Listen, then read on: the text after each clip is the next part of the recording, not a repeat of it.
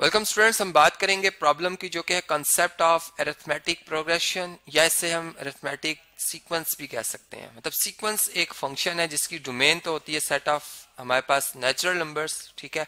अब एक फ़ंक्शन है प्रोसेस होता है जैसे मैं कहता हूँ कि F of x is equal to three x है ठीक है? अब इसमें हम जब एक्स वन पुट करते हैं मीन्स के आ, हम यूँ बात कर रहे होते हैं कि हम फ़र्स्ट टर्म के हवाले से बात कर रहे हैं ठीक है? तो एफ़ ऑफ़ वन जो है वो हमें आंसर देता है फ़र्स्ट करें थ्री ठीक है? फिर टू लिखेंगे तो सिक्स आ जाएगा, ठीक है? यहाँ पर टू लिखने से सिक्स आ जाता है, फिर नाइन आ जाएगा। मतलब इस तरह से एक सीक्वेंस बनेगा। इसे हम कहेंगे प्रोग्रेशन है, ठीक है?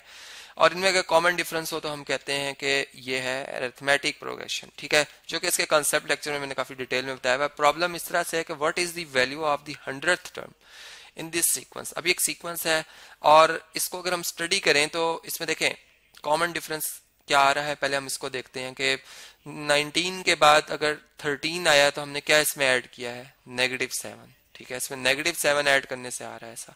फिर अगर 13 में अगर आप नेगेटिव सेवन ऐड करें तो आपको सॉरी नेगेटिव सिक्स ऐड करें। यहाँ पर मुझसे गलती होगी। नेगेटिव सिक्स ऐड करें तो ये आपके पास थर्टीन आता है। फिर सर मतलब थर्टीन में अगर आप माइनस सिक्स ऐड करते हैं तो आपको अगेन मतलब यहाँ पे अगर देखें सेवन मिल रहा है और यहाँ पर सेवन में अगर नेगेटिव सिक्स ऐड करें तो आपको फिर वन मिल रहा है। ठीक है? इसका मतलब कि डिफरेंस कॉमन चला आ रहा है। डिफरेंस तो कॉमन चला आ रहा है। ठीक है? अब हमने इस, इसको हम इस तरह से स्टडी कर लेते हैं कि हम, अब टर्म नंबर जो हमने फाइंड करनी है वो हंड्रेड है। ठीक है? जो कि बहुत दूर है। अगर हम देखें, यहाँ पर इसको जरा अलग अलग करके स्टडी करते हैं। यहाँ पे मैं टर्म नंबर लिख लेता हूँ और इसके आगे इसकी वैल्यू लिखता हूँ। ठीक है? कि कौन, अगर फ़र्स्ट टर्म की बात की जा रही है, ठीक है? तो इसकी क्या वैल्यू है? इसकी वैल्यू है जी 19 ठीक है? अब अगर सेकंड टर्म लिखी जा रही है तो इसकी क्या वैल्यू है? वो है 13 ठीक है? इससे नेक्स्ट अगर थर्ड टर्म की बात की जाए तो उसकी क्या वैल्यू है? सेवन और अगर फोर्थ टर्म की बात की जाए तो इसकी क्या वैल्यू है? पॉजिटिव वन ठीक है? ये हमें कुछ इसका अंदाज़ा हो रहा है कि अच्छा ये वैल्यूज़ इस तरह से आ रही हैं, ठीक है?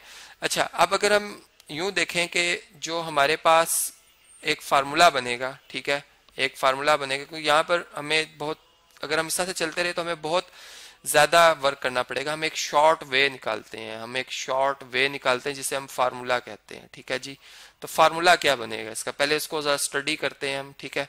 हमने फ़र्स्ट टर्म देखी कि 19 ठीक है? या चले मैं सेकंड टर्म को पहले देख लेता हूँ कि 19 में मैंने जिस time one time seven sorry minus six से मल्टीप्लाई किया इसे तो मेरे पास क्या आंसर आया?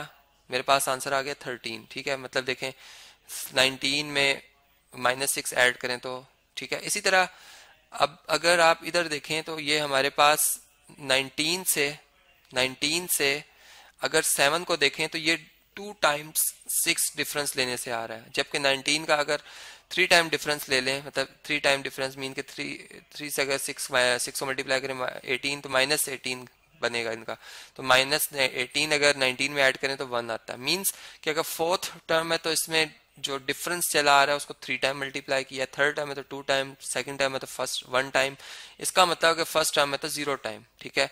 ज़ीरो टाइम ये माइनस सिक्स मल्टीप्लाई होगा, यहाँ पर इसी तरह से टू टाइम्स जो है वो माइनस सिक्स मल्टीप्लाई होगा, और इसी तरह यहाँ पर आपने देखा कि ये three time minus six multiply होगा, ठीक है? तो हमें बात समझ में आई कि एक एक फार्मूला बन सकता है कि हमें अगर फ़र्स्ट टर्म का सहारा ली, क्योंकि फार्मूला में हम शॉर्ट से शॉर्ट वे निकाल रहे होते हैं, ठीक है? हमने बात स्टडी कर ली कि हमारे पास इन जर्नल इन जर्नल अगर मैं एक जनरल टर्म की बात करूँ तो इसमें फ़र्स्ट टर्म तो आएगी ही आएगी, ठीक है? ए सब वन तो आएगा ही आएगा प्लस इसमें जो आ, मतलब कॉमन डिफरेंस है वो भी आएगा। फ़र्स्ट कर लें डी हमारा कॉमन डिफरेंस है ठीक है?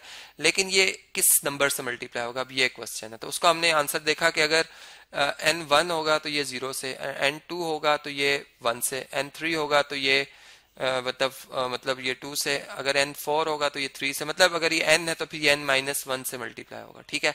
मतलब हमें एक, ये बात इस तरह से पता चली, ठीक है? और अगर मैं इस प्रोसेस को ऐसा कंटिन्यू करता करता चला भी जाता, ठीक है? तो मैं हंड्रेड जब टर्म आती तो मैं जो अभी इस बात को मैंने स्टडी कर लिया, वही मेरा आंसर आता। मेरा अब अब मैं डायरेक्ट इसमें मतलब यूँ कर लूँगा कि मैं एन को हंड्रेड पुट कर लेता हूँ, ठीक है, मैं हंड्रेड टर्म की बात तो ए सब हंड्रेड फाइंड करिए ए सब एन हम हंड्रेड टर्म की बात करें, ठीक है। इसमें फ़र्स्ट टर्म ए सब वन हमारे पास क्या है नाइनटीन है, ठीक है। इसमें कॉमन डिफरेंस जो हमारे पास है, वो है माइनस सिक्स का, ठीक है, वो कितना है जी माइनस सिक्स का। तो अब ये हमारा प्रॉब्लम सॉल्व हो सकता है। हमने एक फार्मूला बना लिया इसका, ठीक है, और अब ये हमारा प्रॉब्लम इस तरह से सॉल्व हो जाएगा कि हम लिखेंगे कि ए सब हंड्रेड ठीक है is equal to a one जो कि है 19 प्लस ठीक है? अब देखें, मैं 100 टर्म की बात करूँ तो यहाँ पर जो 99 है 100 माइनस वन ठीक है? इसको चले मैं यूँ भी लिख सकता हूँ 100 माइनस वन ठीक है? ये मल्टीप्लाई होगा कॉमन डिफरेंस सिक्स है, ठीक है? ये जिस तरह यहाँ पर हमने देखा था, ठीक है? ये ए सब वन है ये ए सब टू है, ये ए सब थ्री है, ये ए सब फोर है मतलब फोर टर्म है तो इस तरह से ये हंड्रेड टर्म आ गई, ठीक है? तो हमारे पास ए हंड्रेड ए सब हंड्रेड जो है वो किसके इक्वल आ गया? नाइनटीन प्लस अब देखें हंड्रेड माइनस नाइनटी नाइन होता है और इसको आपने माइनस सिक्स से मल्टीप्लाई करना है। Minus into plus minus sign आ जाएगा, एक तो पहली बात यहाँ पर नाइनटीन माइनस आ जाएगा।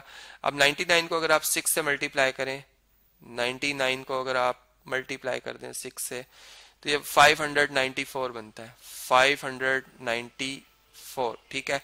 अब चूँकि बिगर वैल्यू के साथ नेगेटिव साइन वो हम पुट कर लेंगे और 594 में से 19 माइनस कर लेंगे। 594 में से माइनस कर लेंगे हम 19 तो हमारा आंसर आया 575 575 तो इसी तरीके से अगर मैं ए सब 100 मैंने फाइंड कर लिया, अगर मैं इसी तरीके से जो अभी मैंने एक सीक्वेंस या एक प्रोग्रेशन देखी, अगर मैं इसमें अपना ये चलता रहता है, ऐसा गिनते रहता मैं कि माइनस छः कम करता, चलता जाता तो मैं कितनी ही देर के बाद इस जवाब तक आता। लेकिन मैंने इस बात को समझ लिया स्टडी किया इसको सीक्वेंस को, और उसकी जो भी टर्म अब मैं फाइंड करना चाहता हूँ, वो मैंने फाइंड कर लिया और इसका एक मैंने जनरल फार्मूला भी बना लिया, ठीक है?